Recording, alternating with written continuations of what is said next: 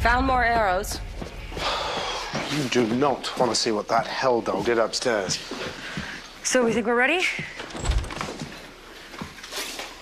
What are you doing? I'm gonna get Hook. What's it look like?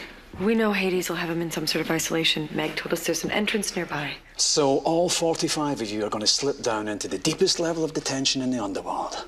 Hades knows you're here.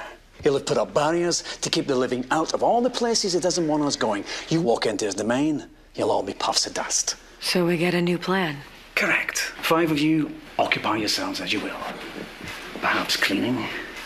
You and I will go in with the assistance of a helpful dead person.